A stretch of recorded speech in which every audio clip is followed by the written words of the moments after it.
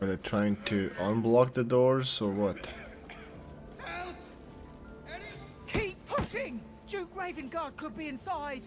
On count of three. One, two. Pushing? Ravengard. He's here. Yes. Don't you have access? Oh, push, damn it, push! Oh, I don't have any strength, but she should have some. Can't she? Oh, push. Not working. Well, do a push. Is it because uh, Grim is in the dialogue and she isn't for some reason? But like, Wyll is in the dialogue, Lae'zel isn't, and for some reason she can't join. This is like super uh, weird how this works. All of my party, so long as they are like joined together, should join the dialogue whenever I initiate a dialogue. Otherwise, stupid shit like this happens, where I can't have my strongest character do the strength check. He is the great champion of the Council. Commander of the Flaming Fist, the binding force holding Baldur's Gate together. Without him, the city faces collapse. In fact, I fear that may have been the intention of those who abducted him. Wyll, you must hold Man, so- little love for your father. They seriously have Him and return him to the city. a uh, bus coefficient of 1 or a bus factor rather. For those that don't know a bus factor is how many people on a project need to be hit by a bus before the whole project just stops. It's a thing in uh, probably any any sphere but well i'm in IT so that's that's that's where i learned that and if your bus factor is 1, there's a big problem in your project. Although, of course, I have seen projects where the bus factor is like 0.5, as in there's two different people, either one of which just disappearing would stop the project. And so here we have a whole city with a bus factor of 1. Oof. Yeah, there we go.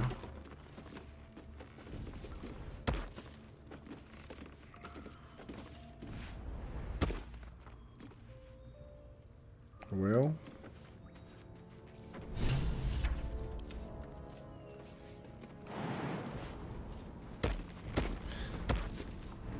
No, why did everyone jump back just because I had to manually jump this guy over?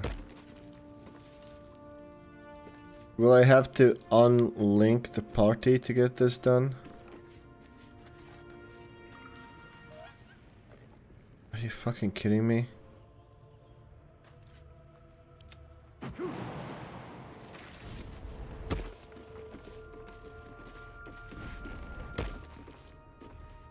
It looked like he was gonna take a running start and yeet himself over. This is yeah, thi- thi- this jump having your whole party follow you when you jump is super important. They should have paid more attention to it because it's it can get really annoying real fast.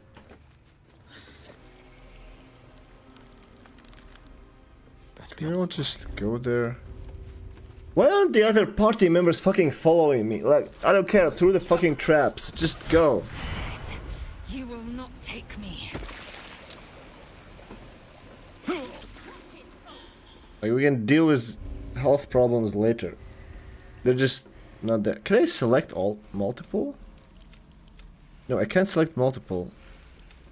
How do I give everyone the fucking command to run through the bullshit? I guess the actual way to do this is I have to like detach them and then send them through one by one.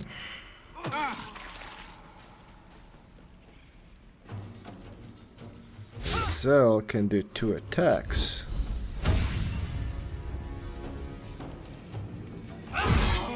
Down she goes. Wait, don't run through the fucking cloud of daggers. Why did they do that? Why did they just automatically run through hazards that are just sitting there? When I didn't even give any commands, the combat just ended. And previously, when I wanted everyone to just follow the leader through traps and noxious clouds and whatever, then they didn't. Make it make sense, game. Trick question, you can't. Um, wait, what did Mayrina die from? And when? Did she walk into the cloud of daggers? Do I need to do the fucking fight again? Uh, when was Mayrina? Yeah, cloud of daggers killed Mayrina.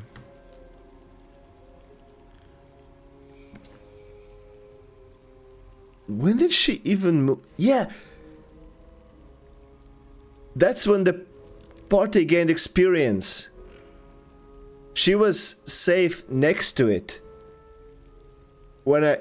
Even after the hag teleported her there. And then once the fight ended, just like my two moronic party members, she just walked into it. Um, can I push her into the blades, maybe? Wait. Instead of pushing her into the blades, I pushed her into the abyss. Uh, that's the end of that. And now I actually... Wait.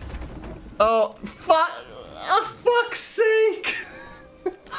I failed again because I expected her to teleport the girl out of the cage so I never pressed the orb and then I dicked around too long after the fight ended and the cage burned and the girl died.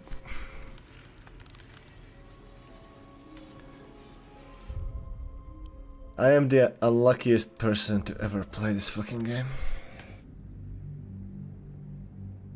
It's and it's not even close.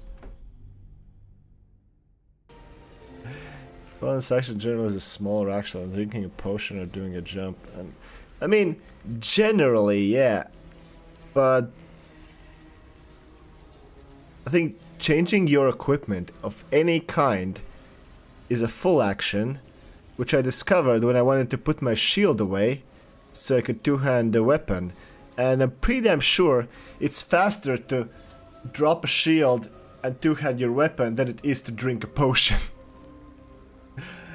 but uh, I, think this is like a minor, minor issue. I'm glad swapping weapon slots doesn't cost an action. See, this actually I think should cost at least a bonus action compared to other things. Like, if you're holding like a bow, an arrow, ready to draw, like putting that away, unless you're just literally throwing it on the ground and leaving it there, drawing a weapon, it's it gets finicky. Like sheathing a weapon, pulling the bow off your back, nocking an arrow, it's it it takes more time than something like I don't know, a jump. But yeah, I guess uh, it would just be a lot of pain. Given how like the amount of stuff that you can do in one turn is well, it can't be very realistic. Yeah, throwing a potion is definitely faster than drinking it. The, the like for game design reasons they had to make it all very very unrealistic. But because like in real life, if you're in melee with someone the fastest thing you can do is hidden with the sword you're holding. Compared to almost every other action, that you can do here, it is so much faster. In the time that you grab a potion, like uncork it, chug it, you could have hit someone like five, six times, maybe more. And, I mean like like five good swings easily. That's like I, I actually timed this recently for unrelated reasons. Um, I think I could like with two hands, I could get off something like uh, three good hits per second. I think it was 10 hits in like 3 seconds and change. And I'm not some kind of sword master. I, I'm like average at sword fighting. I, somebody who's actually good can probably do more than that. So translate that to the turns and, and how much time it takes like to run around, cast a spell, do whatever else. You could like kill three people so long as they're near enough that you don't have to run to them. Of course, fighting three people is a whole different problem, but in, in terms of just taking how many how many actions you can take if that action is to swing your sword. But but I digress.